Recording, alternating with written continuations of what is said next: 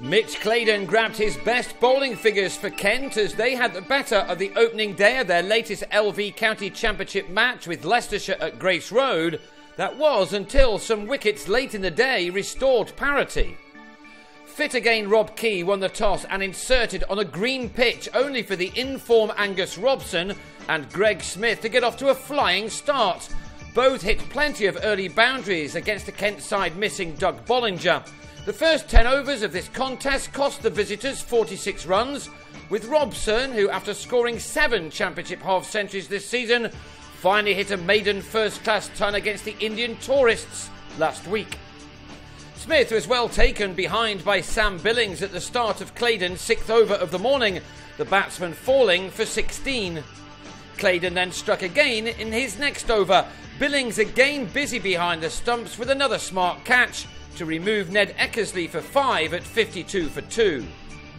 Robson is really making a name for himself in a struggling team this year.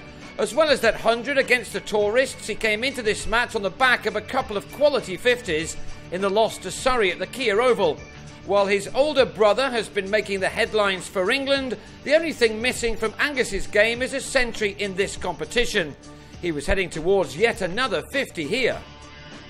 He was doing the majority of the scoring, making 46 out of a total of 82, when Dan Redfern clipped a leg side ball from Darren Stevens into the hands of Daniel Bell Drummond to go for 9.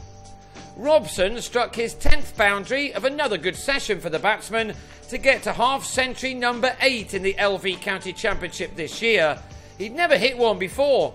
He'd needed only 58 balls for his latest one, Kent becoming the latest side to discover the talents of the 22 year old.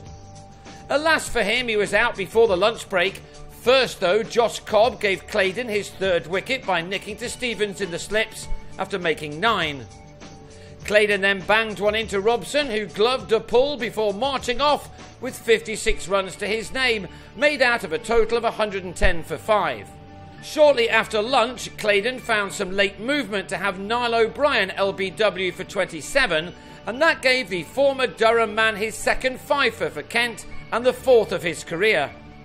Leicestershire were in a bit of a hole now, and it got bigger when Adam Riley tossed one up to bowl Ben Raine for 8 to leave the home side on 152 for 7. Riley has come from nowhere this year to be talked of as the next spinner to play for England Andrew Strauss said as much in an interview on Sunday. Riley was never going to get any help from a fresh green pitch on day one of a match, and Rob Taylor and Jigar Naik tried to make the most of that. They produced a crucial partnership for their team, which brought them 54 runs in 13 overs to at least earn Leicestershire a batting bonus point. Adam Ball was the fifth bowler employed by Key, and he broke the stand by yorking Taylor for 37 with a total on 206. Then, next ball, Charlie Hartley, a 20 year old making his first class debut, earned his maiden wicket in his ninth over when Naik edged a drive off him behind. Naik was on his way for 25, and Hartley then grabbed his second wicket by having Nathan Buck well held by Riley in the slips. Leicestershire were all out after 55 overs for 217, with Claydon ending with his best figures for Kent of 5 for 77.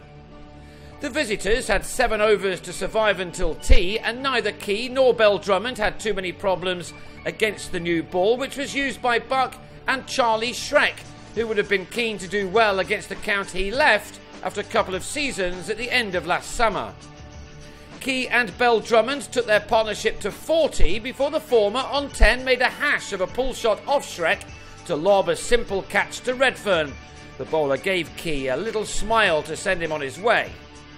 24 runs later, and Bell Drummond was also on his way for 24. Raine dragging one back in from wide of the crease to trap the batsman in front. Ben Harmison was also out LBW for 20 as the visitors found scoring runs no easier than their hosts. Kent were now on 66 for 3. Brendan Nash tried to put his side in the box seat once again, but he too was out just after getting off to a decent start. It was that kind of day on that kind of pitch, where a batsman never felt that he was completely in. Nash became the fifth man of the day to fall in the 20s. He had a hand in his own downfall, though, dragging this ball from Buck back onto his stumps to leave with a total of 94 for 4. And to the very next ball, it was 94 for 5 when Sam Northeast edged Shreck to Smith, who held on really well in the slips. Stevens and Ball then blocked out the final half an hour of a fascinating day on which 15 wickets fell and the game moved on at a pace. Kent will go again on the second morning on 106 for 5 which means that they'll start trailing by 111 runs with a real battle on to earn a first innings advantage.